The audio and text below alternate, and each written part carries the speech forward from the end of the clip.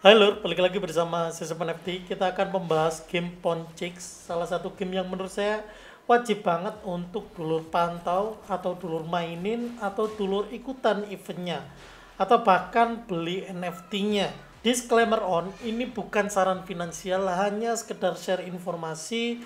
Jadi dulur harus paham setiap resiko dan rewardnya. Bagi yang bocil minggir dulu. Sabar karai sar sarkap whatever Sebagai permulaan, biar dulur semangat, karena banyak dari dulur yang suka banget lihat backingan-backingan.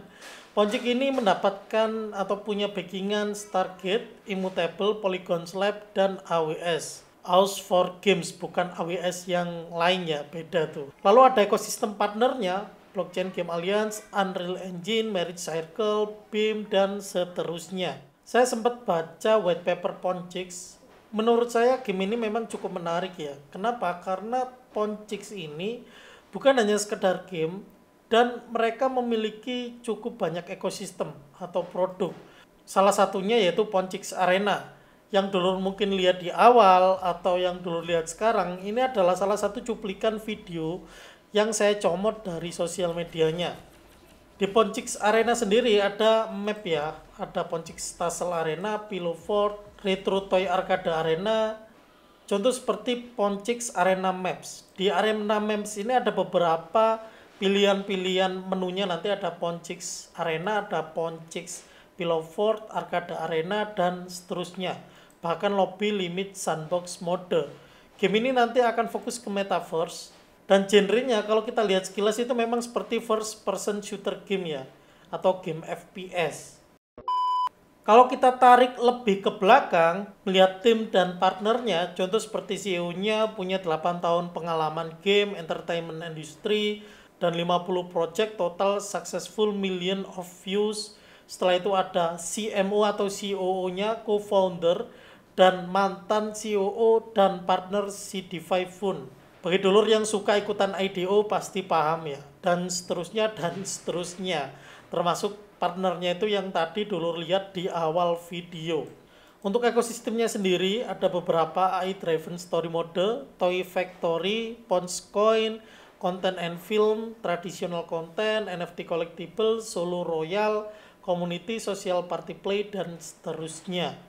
Maksud ekosistem ini adalah, jadi di Ponchix itu bukan hanya sekedar game itu tadi lor, tapi banyak hal yang dulur bisa lakukan. Berharapnya NFT-nya itu bisa digunakan di banyak ekosistemnya ini. Jadi bukan hanya di game, tapi bisa memberikan manfaat di yang lainnya. Itu harapan saya. Kalau aslinya saya belum baca sampai situ lur. Atau bahkan waktu saya baca nggak nemu ya. Termasuk yang menarik perhatian saya adalah sistem play to earn-nya. Di Toy Factory, dulur bisa earn points coin, toys, dan toy shard. Ini mengingatkan saya game Hunters of Virus ya ada shard juga bisa dijual di OpenSea apakah shardnya ini bisa dijual?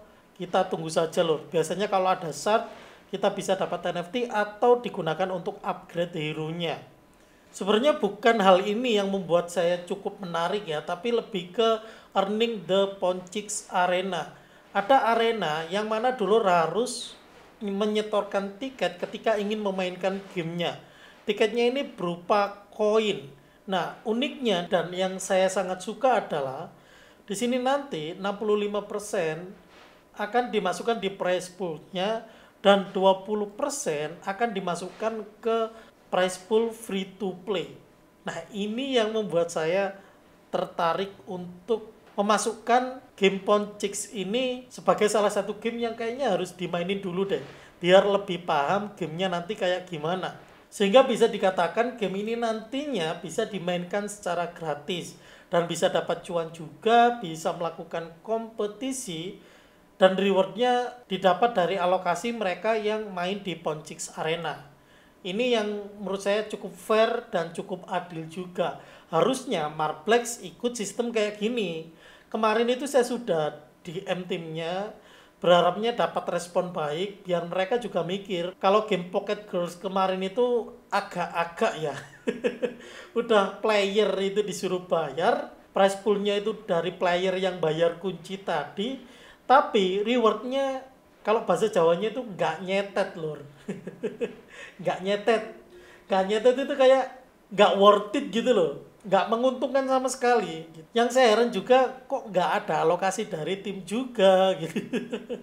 Apa mereka nggak mau modal ya?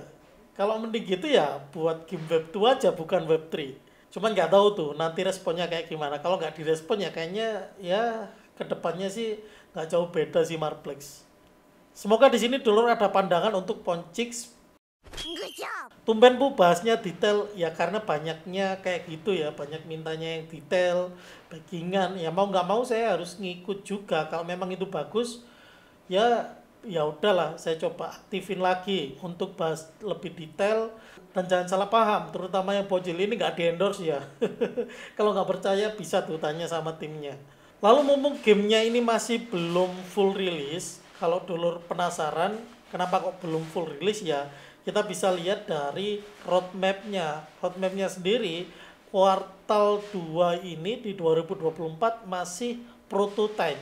Nanti baru di kuartal 3 public token sale-nya setelah itu marketingnya itu baru dimulai dan early access gamenya juga baru dimulai. Makanya sekarang adalah waktu yang tepat untuk ngumpulin tokennya karena ada event play to airdrop. Di sini paham ya? Saya bahas gamenya cukup rinci dari backingan, token, tim dan lain-lain secara sekilas semoga dulur paham setelah ada gambaran dulur bisa langsung gas untuk ikutan play to airdropnya. Caranya mudah banget, kita harus connect akun. Saya akan coba connect pakai akun Twitter di sini atau pakai immutable juga nggak masalah. Immutable itu yang dulu itu immutable pasport ya saya pernah buatkan videonya tuh. Dulu bisa tonton.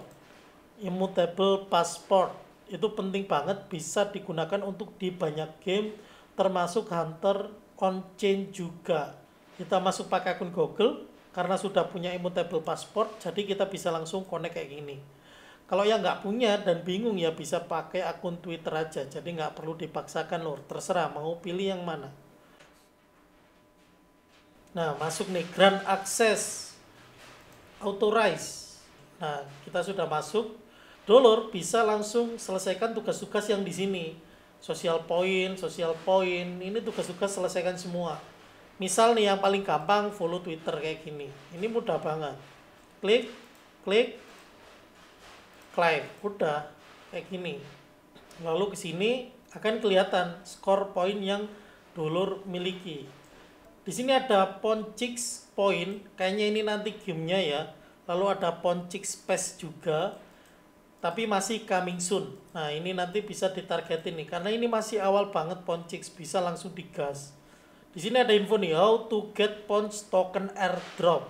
Nah untuk bisa dapat Ponch tokennya dulur harus ikutan Pons social point, earn pons social point. Nah, di sini dulu hanya perlu untuk kumpulkan social point. Contoh di sini ya, ada rinciannya nih, complete tasnya atau tugas-tugasnya from pons point for each interaction on X. Elevate your position, enhance your chance. Dulu hanya perlu untuk farming pons pointnya ini, yaitu yang ini, pons point dari social point dengan melakukan interaksi di Twitternya nanti. Tugas-tugas yang di sini ya yang follow Twitter, lalu retweet dan lain-lain, join Telegram.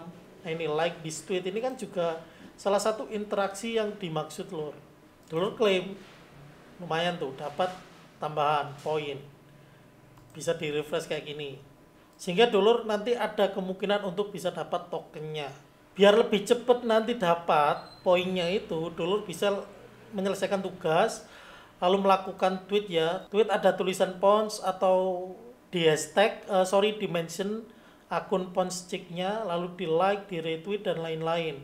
Nanti berdasarkan aktivitas dari akun Twitter yang dikonekkan poin nanti akan otomatis didapatkan setiap minggunya. Barulah nanti dulu bisa klaim pons tokennya. Klaimnya kapan ya? Nggak tahu.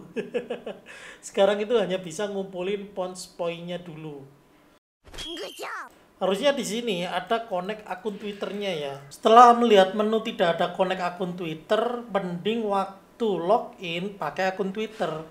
biar dulur bisa langsung gas meningkatkan aktivitas di Twitter kayak tweet, like, dan lain-lain biar cepet dapat poinnya. Sebenarnya juga ada bot Telegram, nanti linknya juga saya masukkan di deskripsi kalau dulur ingin main yang bot Telegram. Gampang banget cuman tap tap tap doang ya. Nanti dulur juga bisa dapat reward dari sana. Kalau masih bingung, tonton lagi saja videonya. Sekian, matur nuwun lur.